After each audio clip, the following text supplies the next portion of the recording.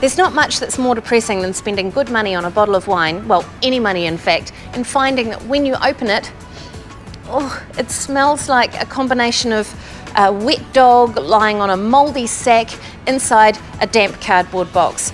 Yuck. Now that is a fault with a great big long chemical name. TCA is what we're going to call it for short. So take the bottle back to where you bought it from, they'll replace it. If your wine smells like uh, manure or barnyard or if you're travelling behind a truck that's got sheep and cows in it, and we all know that smell, that means the wine's been infected with Brettanomyces. Ugh, not nice. You can take that one back as well. If your wine smells like vinegar or nail polish remover, that's a fault. Take the wine back. Best to get a new one, don't persevere. Actually, if the wine smells like burnt rubber, there's only one place for that, and that's at the V8 Supercars, not in my glass of wine.